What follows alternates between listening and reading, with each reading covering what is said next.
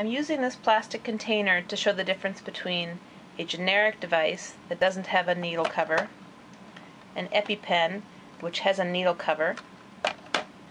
So first the generic device, take off one cap, second cap,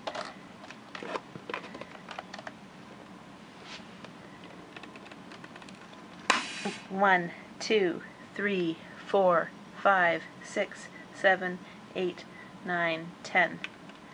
The needle stays out for the 10 seconds the device is held, and as you retract, the needle remains out. For safety, it is then placed back in the container.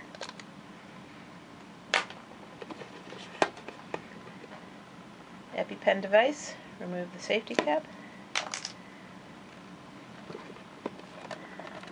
One, two, three. You can see the needle remains out. As the device is withdrawn, it is covered by the needle cover. No exposed needle.